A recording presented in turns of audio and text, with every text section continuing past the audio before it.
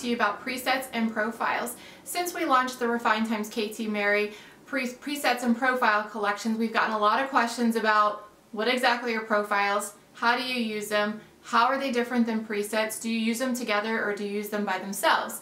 So we wanted to do a quick video for you guys and kind of give you a deep dive on presets and profiles. And to be frank with you, it's basically a preference in um, editing style, how you like to edit your workflow, what works for you, and what gives you the best outcome in your final edit.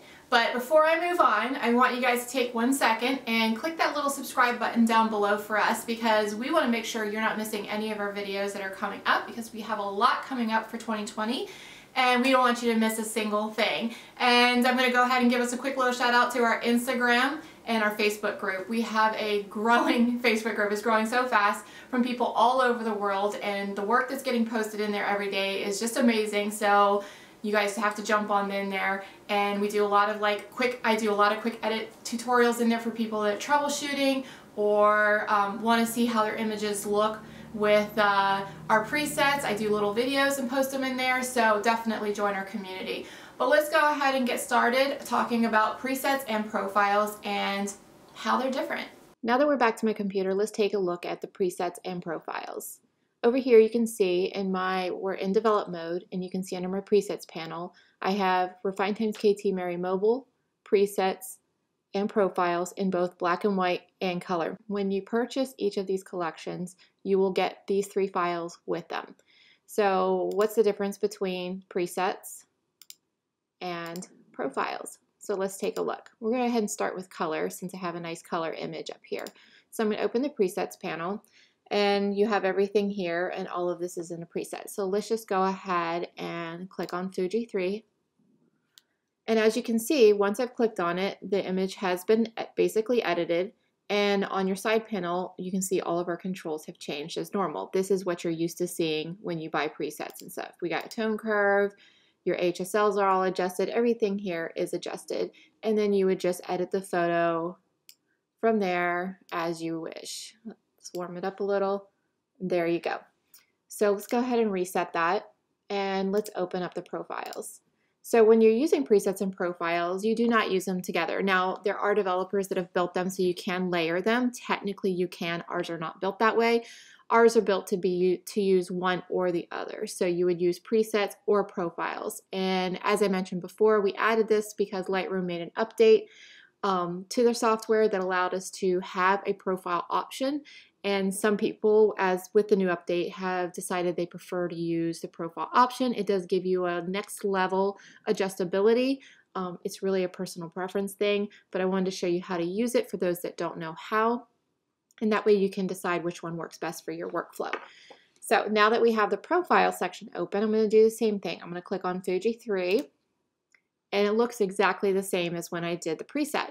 However, over here, nothing has changed. As you can see, everything is set at zero right now. So, but what we do have here is this nice little um, profile slider and it neutrally comes up at 100 and from there you can slide it all the way down to zero which is the original straight out of camera and you can increase the intensity of it all the way up. Now obviously this is a little too punchy but you might be somewhere in this range. So whether you're matching film scans and it has a little bit more of overexposure or a little more contrast or a little more punch to it, this is one way to quickly get that. And even if you, you slide this, you still have full adjustability of all of your normal tools. So your preset has run basically as a layer and you're able to lower or strengthen, lessen or strengthen that layer and then you can still adjust all of your sliders from there inside of that. So it gives you just one more level of adjustability for the presets or, and profiles, obviously. Um, and if you click on this little window, you'll see here's all of them in the actual profile. So technically you could click on these in here and take a look at them. But basically it's the same thing here. I found that I got you know, frustrated with opening and closing this window every time I wanted to try a preset. So I actually built them into a click preset that includes the film grain and everything that we have already set on our presets and profiles. So Um, you can use it either way. So if you're more comfortable uh, going through here, let me find them. I just had them open. You can do them through here or you could click over here. That is another personal preference um, thing that's included there. So as far as, and you know, this won't work on these images because these are for nighttime. So let me undo that. Um, but your grain and everything still works the same. You probably won't be able to see that on the video, but basically that's the difference between presets and profiles. Let me go ahead and click on another image for you. Let's find this one. I'm going to go ahead and get her warmed up a little bit. Go ahead and do this. And I'm just going to click through them and figure out which one I want to use. You can see they all still adjust as normal. Really like three on that. I like four on that as well. Actually, I'm going to go with four. And like I said, from here you can just increase, you can see it kind of increases the intensity of it. Or if I felt it was too strong and wanted to back it off a little, I could do that. So I'm going to go here and then I'm going to just adjust the tone a little Maybe lift the shadows just a touch, punch the blacks up if I want to do that. So you got full adjustability and you can still use the profile.